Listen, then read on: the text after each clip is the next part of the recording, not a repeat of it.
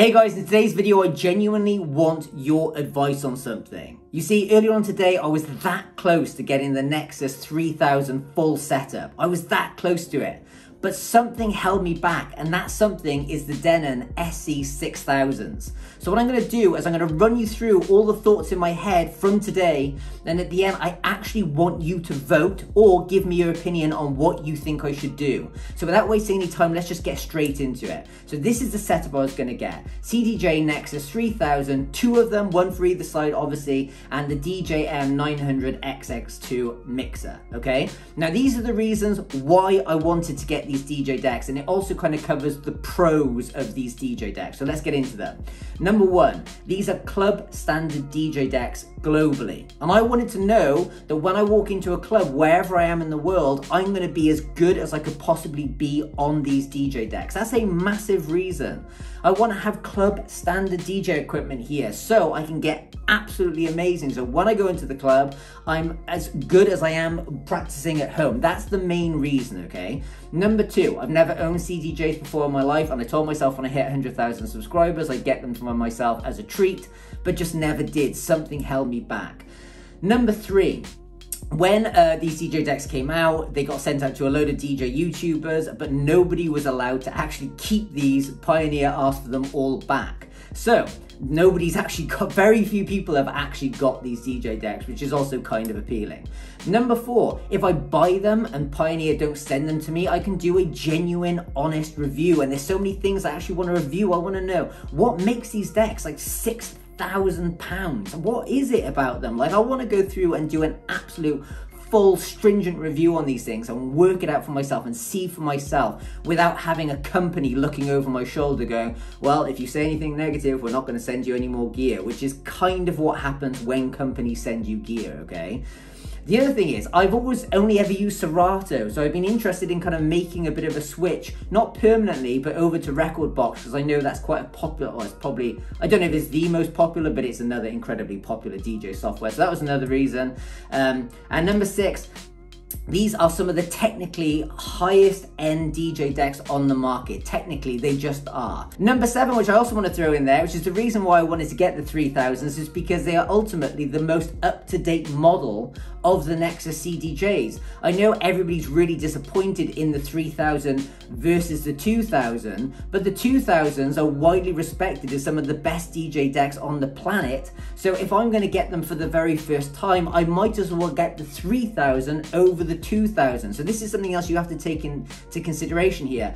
I know everyone was disappointed by that step up, but this is my first time buying CDJs. I might as well get the 3000s, right? Okay, so let's get into some of the cons. Con number one is the price. CDJ Nexus 3000, the cheapest I could find the two decks was 4,299 and the DJM mixer was 1,959. Together that comes to 6,128 pounds, which is an eye-watering amount of money to spend on some DJ decks. So that has to come under the cons. Con number two is simply these DJ decks, the Denon SC6000s and the mix which is the X 1850 and I can get that entire bundle, all of that for £3,090. That was the cheapest price I found it. So just flip between the two, 6,000 or 3,000. They are literally half the price. That's the first thing, right? But then after that, there's loads of actual pros to getting the Denons over the Pioneers. So let's go into those as well. Benefits of the Denons over the Nexus. Number one, a way bigger screen with multi-touch. Multi-touch is exactly what our phones have got, right? Which, which you can pinch and squeeze and pull and touch multiple things at once. It's a glass screen. Whereas with the Nexus, it's actually like a pressure point screen. You can't squeeze, you can't grab. It's not really what we've got used to using with iPads and stuff. It's kind of a bit of an old technology. Yes, it's touchscreen, but still, it's it's not the same. The other thing is with the Nexus, with the uh, Denons, it's a way bigger screen as well, which everybody has said seems weird at the start, but then when you look back at the Nexus, you're like, whoa, that screen's so small and horrible to look at. So that's the general consensus out there. That's number one, it's a bigger screen. Um, now, number I've messed up the numbers. Ignore these, okay? Number one was price. Number two was way bigger screen. Number three was on the Denons. You've got multi-deck options. So you know, like if you've got kind of like more kind of standard, um, kind of basic DJ decks, you often get like deck one and deck two, and you can have multiple songs playing. You have that option with the Denon where you can have one song kind of essentially playing underneath the other song on the one deck. You can't do that on the Nexus, okay? Um, which is kind of like an interesting option that I'd like to kind of have if I wanted to, even though I rarely use this, okay? Um, number four, you can process within the deck, so you don't need Rekordbox. The Denons, you can process, you can, it'll uh, analyze the song for you, you can put cue points in, you can do all this stuff within the actual decks. It means you don't actually need any external software to use these DJ decks. Number five, the Denons, and by the way, just so you know, all these benefits are things that the Denons can do, which the Nexus cannot do, okay? So, number five, built-in Wi-Fi with streaming available. Now, so basically what this means is you've essentially got access to loads of different streaming stuff like Tidal, etc., right there on the DJ decks. Now, at the beginning, I kind of thought about this when I was right on the cusp of getting the Nexus, and I thought, well, who cares? I don't really use that anyway. I always do my stuff on the computer. Like if I'm putting together a DJ set, I go and listen to music on Spotify, on YouTube and stuff, then I go and download it, then I go through this entire process. So why would I need that? And suddenly I thought to myself, Phil, you're thinking the wrong way here. The fact of the matter is, once you have this, you don't have to go through that arduous process of listening to all these different songs, going, downloading them, getting them onto USB, doing all this stuff. It's right there, which would be utterly revolutionary that I could just essentially put together an entire DJ set by just searching through stuff on my DJ decks. That's freaking massive when I thought about it. Number six, ability to actually build playlists and search within actual decks. In other words, I can kind of like search your songs, create playlists, drag, drop, all this kind of stuff. You can't create playlists on the Nexus 3000. It seems like archaic. Like, why can't you do that? But you can on the Denons. Number seven, the cue points on the Denons have multiple functionality. So it's not just cue points, you can do roll mode, slicer mode, different performance stuff with them. On the um, on the Nexus, the cue points are just cue points. They do nothing else but that, which kind of makes me think that the Denons are cool to have. Even though I don't use a lot of those features, they're nice to have there when you need them. The other thing is, I actually like where they're positioned on the Denon more. They're down at the bottom of the DJ decks, which is what I'm used to, rather than having them above the jog wheel as well. So I don't particularly like where the cue points are placed on the Nexus either. Number eight, the Denon SC6000M come with a motor platter, which is amazing for scratching and stuff like that. Something I'm thinking about getting. I'm thinking about getting one M and one regular. So I've got like one scratching deck if I want it. Again, you don't really have that option with Pioneer. Number nine, with the Denons, you've got these pitch bend buttons. You know at the moment you have to kind of like touch the side of the deck and spin it forward or back to catch up? Well, the Denons have actual buttons which you press which speed up or slow down the song um, which apparently once you get used to it, and I've had them on some other decks before, it's actually really handy and kind of more intuitive than kind of touching the side of this platter and spinning it. So that's quite interesting as well. Um, number 10, um, I've said here that the Nexus 2000 to 3000 upgrade was a worldwide disappointment um, and does not include any of the additional features I've just mentioned then. And the other thing which I mentioned as well, I'm not a fan of the cue points on the Nexus 3000. Now, general cons, okay? This is just general stuff. This is not even me comparing the two DJ decks. General cons of the Nexus is, um, does club standard actually matter anymore? After the year we've had, does it even matter? Like no one's even DJing at clubs at the moment. Why would I buy some software, some hardware based on what's club standard when no clubs have been open for the last year? Does that even matter? Number two general cons.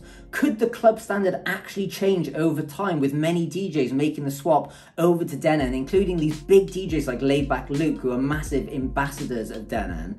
Could the club standard actually change? And number three, you know, I said I wanted to do honest reviews. Would it actually be an honest review if I spent £6,000 of my hard earned cash on these DJ decks? I'd be in that mode where I'd be convincing myself I made the right idea and I'd be like, yeah, these are really good. Am I going to spend £6,000 on something and then convince myself they're not very good. Probably not. Do you see what I mean? There's a weird logic there. Okay, so now let's have a look at some of the benefits of the Nexus over the Denons. So the first point, which is that they're technically a bit more powerful, but by an absolute fraction. I've looked at speed tests and basically you can hardly tell the difference, but that is something to take into consideration. Point number two, something I love, and this is a massive one for me, I love the fact that this Nexus CDJ 3000s have got song align. So your master song, the song that's currently playing, shows on the display screen of the song that you're bringing in, so you can align the two tracks visually. As a Serato user, this seems very intuitive to me, and I really love the idea of being able to see those two tracks lined up on the screen right there. Um, I don't know why the Denons don't have that, but something I'm thinking in my head is I bet you there will be a software update in the next year or so, and they probably will just allow that. It's a simple thing for them to just add in. But at the moment, they don't. So that's the one thing the Nexus definitely have over the Denons. Number three, um, the Nexus have this really cool thing where you can actually skim forward and cue and listen to the song that's actually playing in those DJ decks. So they both have, the Denons and the Nexus have a way where you can go and obviously cue different songs by touching them and playing through. But one of the things the Nexus have is if the song is currently playing, you can actually scroll forward and listen to what drop and stuff is coming up in that actual song that's playing. I really like that idea. If you were to do it on the Nexus, you've got to load that song into another deck, then go and listen forward to it. However, again, this is a software update that Denon can add really easily and most likely will add. Number four, um, I'm used to Pioneer. Most of the time I'm DJing on Pioneer DJ deck, so this is something I'm used to, and I worry that actually I could end up getting the Denon, and Pioneer could just be the club standard and festival standard for the next 20 years, and I'll end up just thinking I should have just got the pioneers. They were always going to be the, the industry standards, you know, like that was my main draw to these DJ decks is that if I walk into a club, I'm going to be right at home. And it seems like a completely pointless thing for me to go and get the Denons if I'm going to end up walking into a club and going, well, I, don't know these DJ decks as well as I could know them. That's a really, really valid point because that was the thing that drew me towards the Nexus in the first place. Number five, the, the mixers for the Nexus, the DJM 900 XS2, are widely considered superior mixers to the X1850. They just are. From all the different reviews I've seen, everybody's just like, these are better. Better quality and better sound effects, etc., etc um, which isn't a huge one for me, but it's something to consider. And the other thing to bear in mind is if I was going to get the Nexus, I was planning on buying the DJM S11. Now, the whole point of this is if you get that as a mixer, you suddenly have access to all of those features that the, D the Nexus 3000 are missing. Like you've got the different pads, you've got loads of different effects, and suddenly a lot of those additional like performance effects that the Denon have become redundant because I'd have this really fancy mixer with have all of those things anyway. So that's another point to bear in mind there. So guys, um, that's it. I'm sorry, I've tried to keep this as quick as possible. Hopefully you guys are still there. And this is the point where I'd love you to give me your opinion. So what I'm gonna do directly below this video is I'm gonna create a comment, pin it at the top, and underneath I'm gonna put two sub comments, which is the Nexus and the Denon. And if you don't wanna leave a comment, I want you to just go and like whichever one you think I should get, okay? Or just write, just quickly type it out below. I'd love to know your opinion. And this is something I'd like you to do as well. I'd like you to take money out of the equation. I know I've talked about the money, but the fact of the matter is I'm a professional DJ, I make money from DJing online, and actually I don't mind spending this money on this stuff because I DJ every single day and I consider myself or I am a professional DJ. So I don't mind it. So take that out. I just want to be happy with the choice that I make. I don't mind spending that extra three grand if I'm really, really happy with my decision. So I want you to take that out. And the other thing I want you to ask yourself as well is, which would you prefer to see more DJ sets on? Because when I buy one or other of these DJ decks, you're gonna ine inevitably see more DJ sets done on whichever DJ decks I buy. So take that into account as well. That's everything. Please give me your opinion below. I've put this entire video together just for your opinion, so I really, really want it. Hope you enjoyed the video, um, and go and leave a comment now. And also, um, leave, watch this video here if you want to. Ciao.